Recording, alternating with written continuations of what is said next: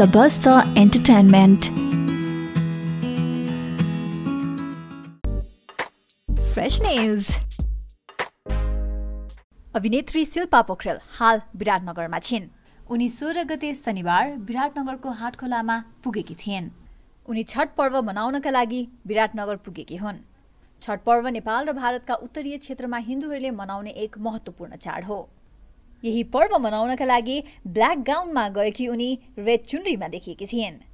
यस पर्वको अवसरमा पञ्चमीका दिनदेखि व्रत बसेर महिला तथा पुरुषले निष्ठापूर्वक पवित्र जलाशयमा स्नान गरी बेलुकी पख दुध चामल र सक्खरको खीर पकाई प्रसादको रूपमा आफूले खाने र व्रत नबस्ने परिवारका सदस्यलाई पनि खुवाउने चलन छ।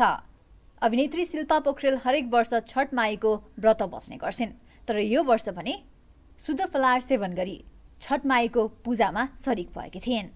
दसैँ र तिहार लगत्तै सुरु हुने छठ उनी आफ्नो परिवारका साथमा मनाउनका निमित्त विराटनगर पुगेकी हुन्।